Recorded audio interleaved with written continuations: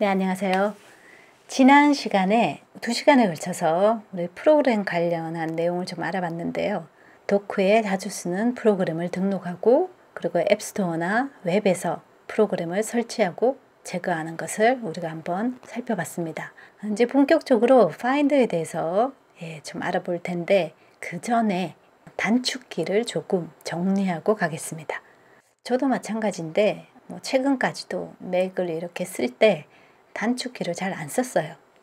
음, 왜냐하면 마우스가 있잖아요. 그리고 트랙패드도 있고 그러니까 그냥 뭐 손을 움직이면 되지 라고 생각을 했는데 어, 영상 작업을 하면서 느낀 거는 사실 우리가 컴퓨터도 거의 매일 사용하고 영상 작업을 하거나 우리가 무슨 엔지니어 작업을 하면 같은 동작을 하루 종일 반복을 하거든요. 몇십 번 정도가 아니라 수백 번, 수천 번을 계속 이렇게 클릭 클릭하면서 손 이 아기를 펴지도 않고 계속 쓰는데 이 손목에도 무리가 가고 그 다음에 어깨도 아프고 그럽니다. 그렇기 때문에 건강을 위해서도 그렇고 그리고 단축키를 쓰면 사실은 마우스로 쓰면 세 번, 네 번 클릭해서 할 일을 한 번에 접근할 때가 많아요. 그렇기 때문에 속도도 좋고 삽질도 방지합니다.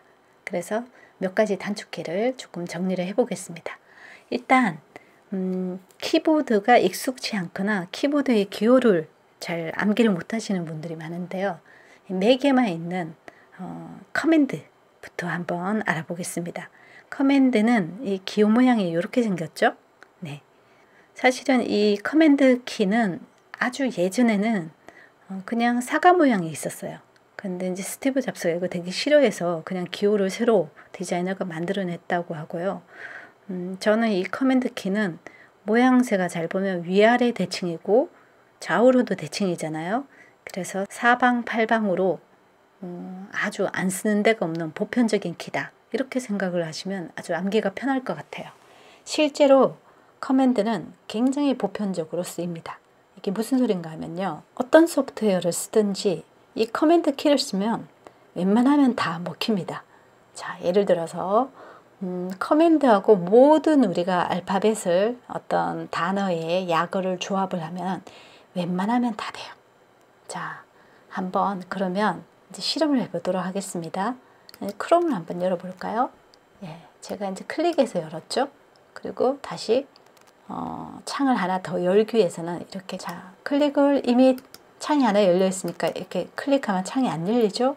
이 경우는 마우스 우측 버튼을 클릭해서 새 창을 엽니다. 예, 그러면은 사실은 마우스를 클릭하고 우측 버튼 누르고 예, 다시 또 선택하고 예, 세 번이나 눌러야 되잖아요. 근데 이 지금 크롬이 선택되어 있는 상황, 크롬이 활성화되어 있는 상황에서 그냥 새 창을 열고 싶으면 새 창이 New잖아요. 그쵸? command New를 누르면, N을 누르면 이렇게 새 창이 뜹니다. 자, 그러면 이제 하나를 알았으니까 우리가 응용이 가능하죠. 예.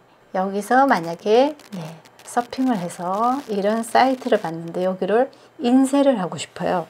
그러면 인쇄는 프린트니까 command P를 하면 네, 바로 이렇게 인쇄할 수 있는 이 창이 뜨죠. 그리고 만약에 여기를 이 사이트를 저장하고 싶다. 그러면 command S를 누르면 네, 이런 식으로 저장이 가능합니다. 그래서 데스크탑에 저장을 해볼까요? 자, 지금 데스크탑이 잘 안 보이니까요. 음, 이 창을 닫아볼까요? 창을 닫기 위해서는 command 윈도우 W를 하면 창이 닫히고요. 자, 이거를 또 닫아야 되죠. 두 번, 세 번 창이 만약에 많이 열려 있다면 이거를 여러 번 해야 되잖아요. 그리고 우리가 가끔 실수해서 문서를 한뭐 10개, 20개, 30개 이렇게 열어놓는 경우가 있는데 그런 경우는 프로그램을 종료를 해버리면 되겠죠. command Q를 하면 예, 길게 누르라고 하네요. 그죠? 예, 크롬이 이렇게 닫혔습니다. 자, 여기 지금 방금 웹사이트를 저장한 게 바탕화면에 있죠? 이거를 복제를 하려면 command D를 누르면 이렇게 네, duplicate죠. 예, 복제가 되고요. 그러면 당연히 카피는 어떻게 하면 될까요? 카피는 command C, 예, command 카피를 하면 되고요. 그 다음에 붙이는 거는 PC하고 똑같습니다. command V를 하면 네 붙이기가 되겠죠. 뭐 이런 내용을 타이핑을 해서 예, 글씨를 좀 키워볼까요? 자 이거를 command C 하면 이렇게 복사가 되고요. command V 하면은 이런 식으로 예, 붙여졌죠.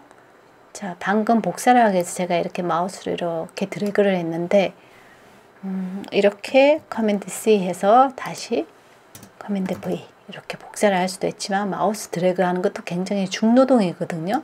이렇게 할 필요 없이 커서가 있는 상황에서 command A 하면 전체 선택이 돼요. 간편하죠. 예. 그렇기 때문에 이제 command로 할 수 있는 거는 뭐 웬만한 거는 추측해서 하셔도 거의가 맞습니다. 그 예를 들어 자 이 사이트를 열었는데 글씨가 너무 적어서 잘 안 보여요. 그러면 command 플러스를 하면 이렇게 네, 지금 확대가 되죠. 네, command 마이너스를 하면 이렇게 네, 축소가 됩니다. 자, 이 바탕화면에 마우스를 클릭한 상태에서 command 플러스를 하면 네, 이렇게 커지죠. 네, 이런 식으로 음, command 키는 거의 범용으로 쓰이기 때문에 command 키 하나만 알아도 굉장히 많은 곳에 응용을 할 수가 있어요. 네. 그래서 사방팔방 쓸 수 있다. 그래서 이런 모양새라는 것을 기억하면 잘 쓸 수 있겠죠. 예. 그 다음에는 어, 옵션 키가 있는데요. 옵션 키는 모양새가 좀 약간 특이하죠. 예, 이거는 이렇게 잘 보시면 약간 왼쪽에 이렇게 해서 길이 이렇게 갈라져 나오는 것 같잖아요. 그쵸? 네. 그래서 옵션은 우리 기찻길에서 선로가 바뀌면서 이 길로 갈까 저 길로 갈까 이런 걸 선택하듯이 원래 옵션이 PC에서는 Alt하고 비슷하거든요. 그러니까 선택할 수 있는 대안 이런 뜻이니까 그런 의미로 하면 이 기호가 예, 암기가 될 것 같아요. 이 옵션 키는 맥에서는 음, 동시에 전체 적용한다 이런 의미가 있어요. 그 예를 들면 아까 무슨 크롬 창을 제가 여러 개 열어보겠습니다. 예, 뭐 실수하면 이렇게 창이 엄청나게 많이 열리죠. 이 경우 이 전체 창을 다 닫는 방법은 제일 무식한 방법은 하나하나 이렇게 W를 눌러서 닫는다 라는 방법이 있고요. 그 다음에는 이 크롬 자체를 종료시키는 방법도 있겠죠. command Q. 근데 나는 종료는 시키고 싶지 않은데 창을 한 번에 닫고 싶어. 라고 한다면 전체 적용하는 게 옵션이라고 했잖아요. 그러면 command하고 옵션을 누른 상태에서 W를 하면 자 이렇게 창이 다 닫혔죠. 그래서 옵션 키는 전체 한 번에 적용한다. 이렇게 네, 암기를 하시면 되고요. 그 다음에 이제 세 번째 어, 컨트롤 키가 있죠. 예. 컨트롤 키는 이 괄호를 이 꺽쇠 괄호를 이렇게 90도로 이렇게 돌려놓은 모양인데요. 컨트롤의 C를 이렇게 뒤집어 놨다고 생각하시면 되죠. 그쵸? 이 컨트롤 키는요. 컨트롤 키를 누른 상태에서 예를 들면 이 파일을 이렇게 제가 클릭을 하면 이게 마우스 우측 버튼하고 같은 기능이 돼요. 컨트롤 키를 누른 상태에서 이렇게 하면 마우스 우측 버튼을 그러니까 이게 사실 마우스 우측 버튼을 클릭하기 위해서는 우리가 보통 뭐세 번째 손가락을 이렇게 움직이게 되잖아요. 근데 이것도 역시 좀 무리가 가서 저는 컨트롤 누르고 이렇게 클릭을 하거든요. 예, 그런 기능을 쓸 수 있고요. 자세한 거는 나중에 이제 다른 단축키를 하면서 확인해 보도록 하고요. 그 다음에는 이제 요거는 탭키. 예, 들여쓰기 기능이죠. 그러니까 여기까지 가라. 여기까지 글자를 들여쓰라. 라고 하면 탭키는 쉽게 이해가 되실 것 같고요. 음, 탭키는 여기까지 이렇게 건너뛰는 거잖아요. 그러니까 뭔가 하나에서 하나 사이에 건너뛰다. 이런 느낌으로 생각을 하시면 돼요. 예를 들면 지금 Dock에서 지금 실행되어 있는 프로그램이 요 지금 점이 있는 게 실행되고 있잖아요. 한 번에 보려면 command 탭을 누르면 이런 식으로 지금 실행되고 있는 프로그램을 보여주죠. 이 상태에서 탭을 누르면 건너뛰죠. 예, 프로그램 사이를 건너뛰기 때문에 음, 탭은 어, 기능 그대로 모양새가 이렇게 보인다고 보시면 되고요. 자, 이스케이프는 딱 보기에 빠져나가는 모양새죠. 백에 있는 이 특수 기능키의 기호를 이제 지금 설명을 드렸고요. 그 다음에 이제 자주 쓰게 되는 이동 경로. 이거는 이제 find 할때 다시 설명을 드릴 건데 지금 뭐 암기를 굳이 하실 필요는 없고 아 저거 나중에 마우스로 클릭 클릭 클릭 여러 번으로 들어갈 필요 없이 한 번에 접근이 가능하겠구나 라는 거를 이제 일단은 알아두시는 게 좋을 것 같아요. 자, 이 find에 들어가서 여기 이동을 클릭하면 지금 여기에 단축키가 많이 보이죠? 이 중에서 우리가 앞으로 굉장히 자주 쓰는 게 뭔가 하면은 응용 프로그램을 굉장히 많이 열어보게 되고요. 그 다음에 이제 동료들하고 또는 주변에 맥을 쓰는 사람들하고 파일을 간단하게 주고받을 때 굳이 메일을 보내서 history를 남길 필요 없이 간단하게 영상이나 파일들을 주고받을 때 AirDrop을 많이 쓰게 됩니다. 근데 이 단축키를 모르면요. AirDrop을 어떻게 써야 되나 하면 Finder를 클릭해서 AirDrop을 클릭하고 네, 일단 이렇게 두 번 열어보는 게 굉장히 귀찮습니다. 그래서 command 아까 보시면 AirDrop이 예, 지금 시프트 command인데 항상 command를 기준으로 이제 암기하시는 게 좋아요. command 시프트 R 자 에어드랍이니까 R을 하면 이렇게 한 번에 열립니다. 그래서 여기서 음, 굉장히 많이 있지만 자주 가는 게 command shift R 이제 AirDrop 여는 거고요. 그 다음에 application이니까 응용 프로그램 command shift A 그 다음에 유틸리티도 은근히 많이 사용하게 됩니다. 왜냐하면 디스크 유틸리티나 뭐 지금 잠깐 열어보면 네, 제가 여기 사이드바에 등록을 해뒀는데 유틸리티에 뭐 디지털 컬러 측정기나 뭐 기타 예, 뭐 터미널이나 시스템 정보나 뭐 이런 것들이 있거든요. 그래서 예, command shift utility를 하면 예, 이런 식으로 유틸리티가 바로 창에 열리죠. 물론 예, 응용 프로그램은 이 도크에서 자주 쓰는 것은 여기서 클릭할 수도 있지만 전체 응용 프로그램을 보려면 이렇게 런치패드를 열어보거나 그래서 어 내가 방금 설치한 게 깔렸나? 라고 이렇게 확인할 수도 있고요. 근데 사실은 런치패드는 음, 이 런치패드라서 이거 약간 UI가 모바일하고 비슷하잖아요. 그 우리가 아무래도 목록으로 보는 게 좀 편할 때가 있어요. 그런 경우에는 command shift A 해서 응용 프로그램 폴더를 열어서 이동해서 보면 제 프로그램 여기 이 컴퓨터에 깔려 있는 전체 프로그램 목록을 확인할 수가 있죠. 배운 대로 닫아볼까요? command W 하면은 창이 닫히네요. 그래서 지금 사실은 여기 지금 Finder에 있는 이동 항목은 대부분 command shift를 쓰고 있죠. 네. command shift를 쓰고 있는데 딱 하나 달라요. 다운로드가 달라서 이거는 거의 저도 잘 암기가 안 되는데 네. command option L을 눌러야지 다운로드의 L을 눌러야지 이렇게 다운로드로 이동이 가능하고요. 자, 그리고 command shift로 쓸 수 있는 다른 키는 예, 다른 강의에서 다시 설명을 드리겠지만 command shift 3은 전체 화면 스크린샷이 되고요. 지금 이렇게 스크린샷은 잠시 이런 식으로 뜨거든요. 네, 여기 지금 스크린샷이 되었죠. 제가 지금 모니터를 듀얼로 쓰고 있어서 스크린샷이 두 개 모니터가 동시에 되었고요. command shift 4를 하면 이렇게 일정 부분을 지정해서 이렇게 스크린샷을 할 수가 있어요. 자, 이 경우 떠, 잠시 떠 있는 걸 이렇게 그대로 놓을 수도 있습니다. 여기 지금 예, 바탕화면은 다시 저장이 되었죠. 그리고 뭐 command shift 5를 하면 이런 식으로 예, 여러 메뉴가 뜹니다. 전체 화면을 캡처할까? 선택한 윈도우를 캡처할까? 아니면 선택 부분을 캡처할까? 뭐 선택 부분 이렇게 그 움직일 수도 있죠. 그 다음에 화면을 기록할까? 선택 부분을 기록할까? 이런 것들을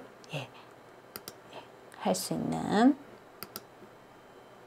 네, 캡처가 되었죠. 또 다시 그래서 command shift로 이동과 스크린샷을 할 수 있다. 네, 이렇게 정리하시면 될 것 같고요. 네, 그리고 한 번에 너무 많은 걸 해서 지금 이제 머리가 엄청 복잡하다 이러실 수 있는데 사실은 이 강의는 여러 번 여러 번 반복해서 들으시면 됩니다. 그리고 음, 자주 쓰게 되는 거, 자 여기 바탕화면에 있는 거를 command delete 하면 이렇게 바로 버릴 수 있어요. 휴지통으로. 물론 이렇게 해서 버릴 수도 있죠. 하지만 이렇게 하면 역시 오른손에 힘을 계속 주고 이렇게 드래그해서 끌어서 가져 놓는 동안까지 계속 힘을 줘야 되잖아요. 예, 그래서 command delete를 하면 이렇게 버릴 수 있고 이 휴지통 자체를 비우고 싶다라고 하면 command shift를 누른 상태에서 delete를 하면 휴지통을 비우게 됩니다. 그래서 command shift 계열은 이런 명령어들이 있고요. 마지막으로 두 가지만 더 알려드리면 네 클림트에 대한 영어 문장이 쭉 나오고 있는데 여기서 이제 만약에 모르는 단어가 있다 뭐 아무거나 예. 자, 이 경우 모르는 단어를 이걸 다시 복사해서 어딘가에 붙여서 사전에서 의미를 알아보는 것보다 command control D 딕셔너리 D를 하면 바로 이렇게 단어 뜻이 디폴트로 지정된 이 사전의 단어 뜻을 알려주고요. 이 사전도 바꿀 수도 있어요. 굉장히 편리하죠. 웹서핑 하는 동안 또는 문서에서 영어가 있을 때는 무조건 이런 방식으로 단어의 뜻을 즉각적으로 알 수가 있습니다. 그리고 음, 매기에서 정말 좋은 점 중에 하나는 이거를 영어로 읽어주죠. 예, 말하기를 한번 시켜볼까요? 마우스 우측 버튼 클릭을 하면 말하기가 시작이 되죠. 또는 아까 마우스 우측 버튼 클릭하지 않고 컨트롤을 누르고 얘를 클릭해도 보조 클릭이 됩니다. 그래서 말하기 시작을 해볼까요? Gustav Klimt, the 14th of July, 1862 to the 6th of February, 1918, was an Austrian symbolist painter and one of the most prominent members of the Vienna Secession movement. Klimt is noted for his paintings. 네. 시스템 환경 설정에서 네, 말하기로 들어가서 예, 마음에 안 드는 음성이면 예, 이렇게 바꿔서 재생이 Hello, 가능해요. my name is Kate. I am a British English voice. 여기 지금 단축키를 보시면 옵션 S죠. 그러니까 마우스 우측 버튼을 클릭할 필요 없이 여기서 바로 옵션 S, 스피크겠죠. 예, 클릭하면 바로. 네, 이런 식으로 말하기가 실행이 됩니다. 네, 일단 이 정도만 알아두셔도 굉장히 유용하겠죠. 네, 뭐 예를 들면 이런 경우도 파일 정보를 보고 싶다 하면 command I 하면 예, information 나오죠. 그리고 command W 하면 창이 닫히고요. 이 상태에서 command delete 하면 버릴 수 있고요. command shift delete 하면 네, 휴지통을 비우게 됩니다. 네, 이번 시간에는 좀 많기는 하지만 맥에 있는 특수 기능 키를 좀 암기를 해볼 거예요. 그리고 자주 쓰는 키들을 한번 정리해 봤습니다. 다음 시간부터 파인더에 대해서 알아보도록 하겠습니다. 감사합니다.